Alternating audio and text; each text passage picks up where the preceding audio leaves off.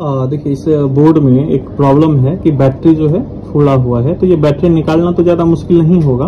Battery आराम से निकल जाएगा। ये आप जब भी निकालते हैं, इसको रिपेयर कैसे करते हैं, उसके बारे में आपको भी बताने वाले हैं। इसको आप आराम से दबा के निकाल सकते हैं, क्योंकि इसको हमने पहले भी निकाला है कि आसानी से बाहर निकल जाएगा।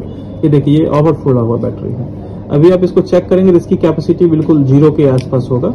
ठीक है, इसके अंदर एयर भरा हुआ है। तो बहुत सारे लोग क्या करते हैं ना, कि इसको रिपेयर करने के लिए सीधा कहीं से भी चिमटी मार देते हैं। ये बैटरी यदि चार्ज होगा ना तो ये बदबू देना शुरू कर देगा, या फिर इसमें धुआँ देना शुरू कर देगा। इसको रिपेयर करने का तरीका हम बता दे रहे हैं। इससे पहले आप ये समझिए कि बैटरी के अंदर ना एक बोर्ड होता है यहाँ पे, ये। इसको आपको हम खोल दिखा खोल के दिखा रहे हैं। इस बोर्ड की क्या खासियत है, वो हम बताते हैं। बैटरी फूलने का मुख्य वजह जो है, वो भी हम आपको भी बताते हैं। देखिए, बैटरी फूलने का मुख्य वजह क्या है? या तो आपके फ़ोन के बोर्ड में थोड़ा सा दिक्कत है, इस वजह से सप्लाई ओवर चार्ज होने की वजह से हो जाता है, या रात भर लगा के फ़ोन चार्ज में छोड़ देते हैं ये दूसरा वजह होता है।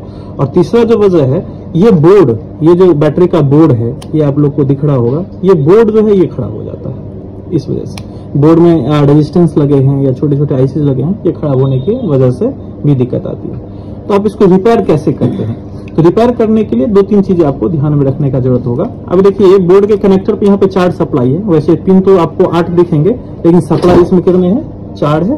और यहाँ पे वो बैटरी से सिर्फ़ दो ही कनेक्टर कनेक्ट हैं, एक एनोड एक कैथोड एक प्लस वाला, एक माइनस वाला। तो ये बोर्ड का काम क्या होता है? इस दो सप्लाई को, चार सप्लाई में कन्वर्ट करके बोर्ड को देना कि बैटरी जब भी फूल जाए तो आपको करना क्या है कि साइड से तिरछा पिन मारना है आपको इसमें। साइड से तिरछा पिन मारना है। और ये नहीं कि पूरा नीचे नहीं आपको डाल देना है। साइड से तिरछा मारना है, जिसमें कि हल्का सा इसका एयर क्या हो जाए, निकल जाए। देखिए, बैटरी सारा अपने जगह पे आ गया। अब ये, इससे उम्मीद करेंगे ये बैटरी बहुत चले तो बहुत नहीं चलेगा ये बैटरी। इसको रिपेयर करके या चार्ज करके लगाते हैं तो। ये बैटरी आपको चलेगा, कुछ समय तक चलेगा। ठीक है, इसके अंदर गैस था।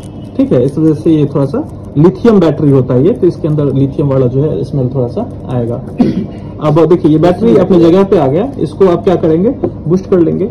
और यदि आपके पास ऑप्शंस हैं, पुराने बैटरी है बचे हुए तो ये वाला जो है बोर्ड इसको आप बदल बदल सकते हैं। इसके बदलने से आपका जो बैटरी फूलने का प्रॉब्लम बंद हो जाएगा।